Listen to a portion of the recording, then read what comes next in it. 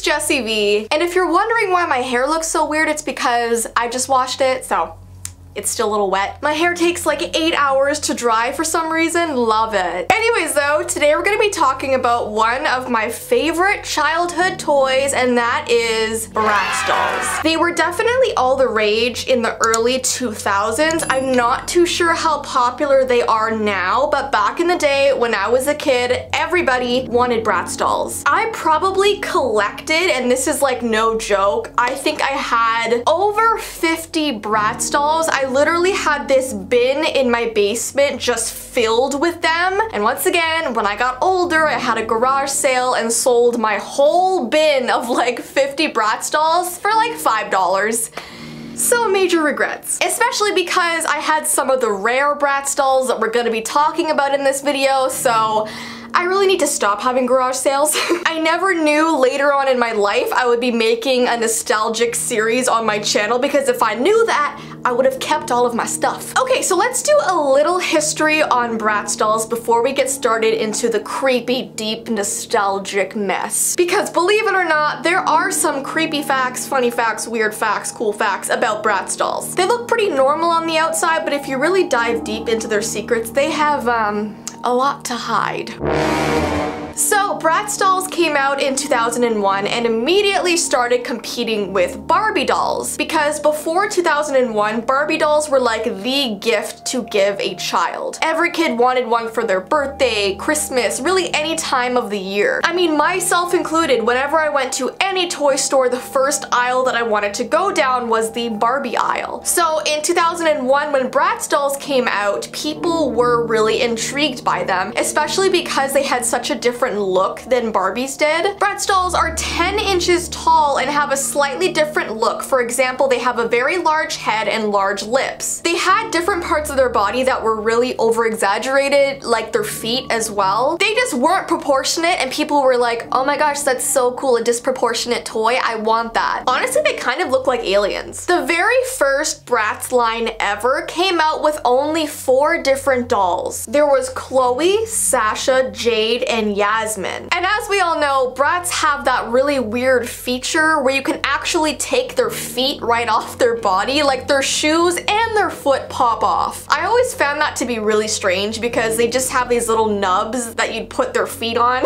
Such a weird concept, but it is what made them so different. So if you go onto the official Bratz website, I used to go on that website like every single day after school when I was a kid, like they had a fortune teller, they had a mash game, they had a dress up your Bratz doll game. It was so much fun. But they also have a little bio section for each of the four dolls. So for Jade it says, she's the one who skateboards, but her only non-sport hobby, mix and match in outfits. So every single one of their bio is very materialistic sounding, and that's one of the things that got so much backlash. It's that these dolls' bios are so dull and boring, and they don't really give these girls any depth aside from beauty, fashion. Next is Yasmin, it says she's the boho hippie who does yoga and probably uses namaste as a verb, but she also loves making flower crowns. Then there's Chloe, she plays soccer, but also loves shopping. Also, her life motto is live, laugh, love. Do you like the voices I'm making for each doll? I just feel like that's what it would sound like if someone was like reading their bios. and lastly, Sasha. Sasha's purpose in the Bratz world is to get rich and famous through acting or performance. But on the bright side, she does have her own makeup series on YouTube. And yes, the uh, new Bratz they came out with have social media.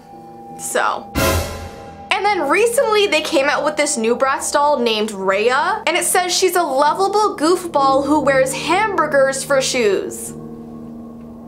Hamburgers for shoes. Honestly though, she seems like the most interesting one out of the uh, five of them because it finally doesn't say anything about fashion or beauty. It just says like, yeah, she's a goofball and she has hamburgers for shoes.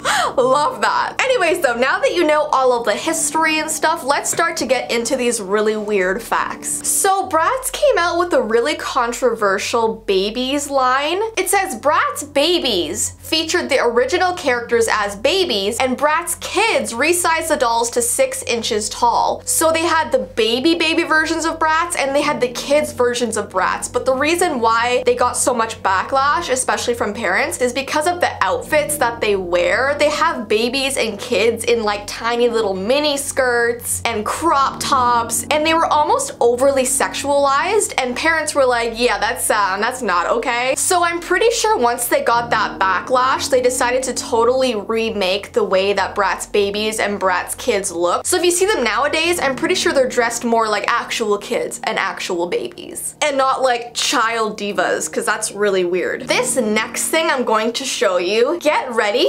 It's really freaky. Have you ever seen a Bratz doll without the makeup on? Because I did recently and I'm just not gonna come back from it. Like I'm not the same since seeing this picture. Basically what happened was there was a father who was trying to clean off his daughter's Bratz doll. I think she might have gotten food on it. She got it dirty somehow and he took this wipe. I forgot what the chemical was called on the wipe. So when he was washing off the doll, he actually took off all of the makeup on the Bratz and he posted a picture to Twitter. Are you ready to see what a Bratz doll looks like without makeup? Here you go.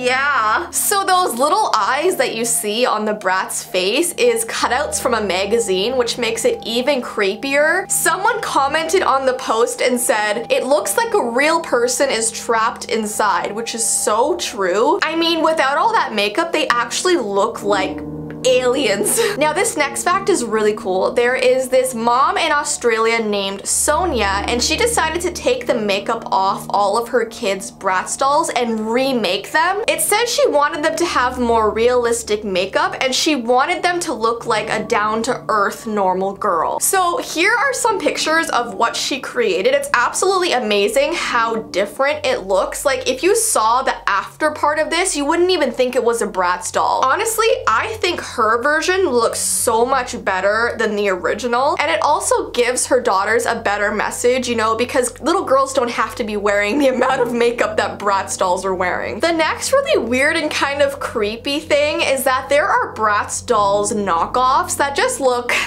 a little bit off. So there were these dolls called Chicz dolls and they were mostly sold at dollar stores like Dollar Tree so they were like a very cheap version of Bratz dolls because if you guys remember at least what it was like when I was a kid, Bratz dolls were like 30 $40 depending on if you got accessories with them or if you were buying like other stuff with them. They got really expensive. So these people came out with this cheap version called Chicz dolls. They were out in the early 2000s. They had the big head, they had the big lips, and as you can imagine, they got a lot of backlash for looking so similar to Bratz dolls. I mean, they even had the Z in Chicz just like Bratz does. The next fact is that they came out with so many Bratz movies whenever they came out with a new style of Bratz doll. The ones that I watched as a kid were Starrin' and Stylin' in 2004, Bratz Rock Angelz in 2005, Bratz Passion for Fashion in 2006, and I think those are the only three that I would like watch religiously with my sister. I was a bit of a Bratz fan, let me just say that. I just thought it was so cool to like have the doll and then also be able to watch it in a movie, you know what I mean? But looking back at the animation, because you can find scenes from these movies on YouTube, the animation's so bad and like it's almost creepy in a way because you're watching these girls with like massive heads walk around and talk to each other. It's it's really weird. Speaking of big heads, this next fact is so creepy and I'm so glad I was never given one of these as a kid. So they came out with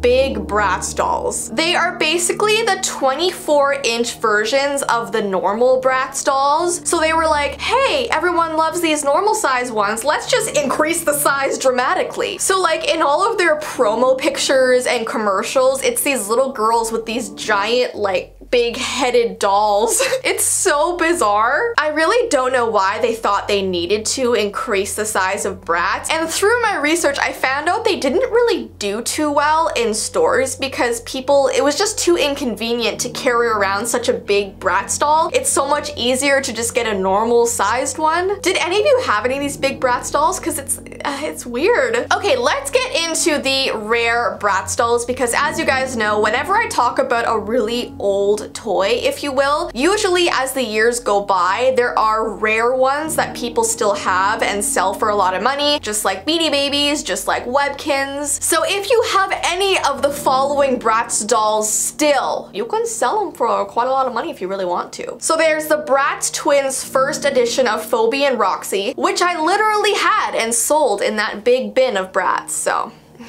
still regrets. Bratz Rock Angelz fan club president Megan, Bratz Ice Hockey Chloe, Megan, and Yasmin, Bratz Girlfriends Night Out Chloe, Dana, Phoebe, Sasha, and Yasmin. Oh my goodness, this is like a tongue twister. There are so many different names of these Bratz. Springtime Yasmin and Chloe, and these two are apparently probably the most rare on the list because they were canceled in the States for some reason. I'm not too sure if there was like controversy behind them, but if you have these, they are like Wanted. Passion for Fashion, Sabrina Dresden. Forever Diamondz, Plane. So now we're getting into like transportation. The movie star Bus with Megan doll. The Bratz Carnival Rides. Oh my goodness, I didn't know they had carnival rides for the Bratz. What the heck? And the Wicked Twins, Sierra and Diona. And apparently these two are also really, really rare. If you guys don't know, I love the Wicked musical. Oh my goodness. Something has changed within me. Something is not the same.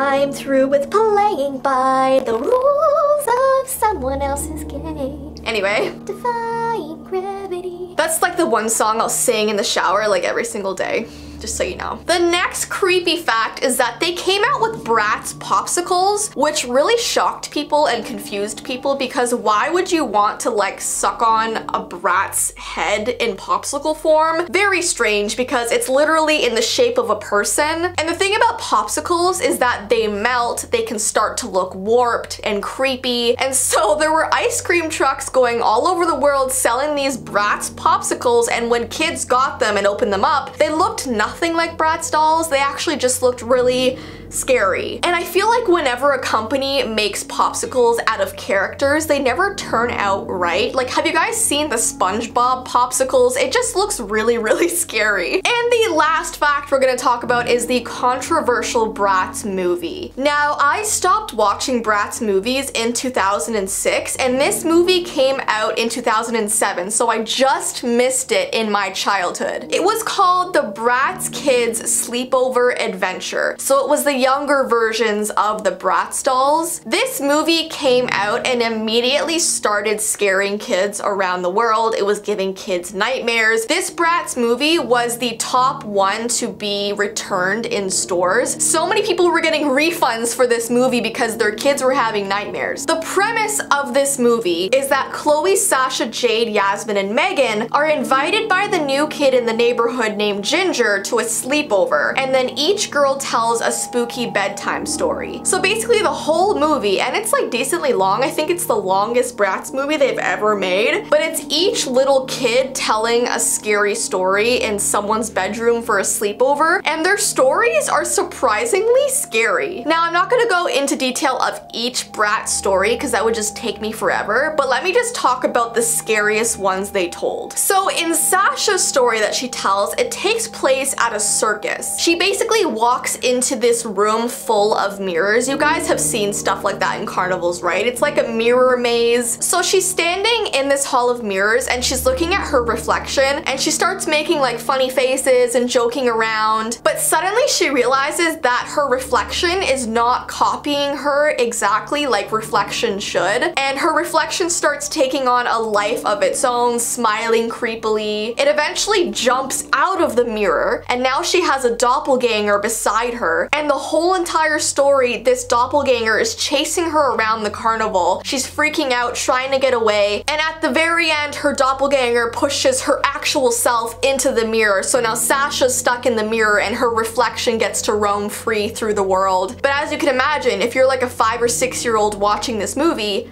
that's gonna really scare you. And then once all the girls are done telling their stories at this sleepover, stuff actually starts happening in the house that they're in, like in real life. And the whole show, it's just, it's strange. If you wanna see it, I'm pretty sure the full movie is on YouTube, so you can check it out if you want to. But yeah, those are all of the weird, creepy, and funny facts that I was able to find about Bratz online. There wasn't as much as I thought there would be, but if I missed anything, definitely comment it down below. And let me know know if you're still enjoying this nostalgia series. Give this video a thumbs up if you are. Comment down below what toy or item or thing you want me to do next for this series. And I hope you guys have an awesome rest of your day and I will see you in my next video. Bye!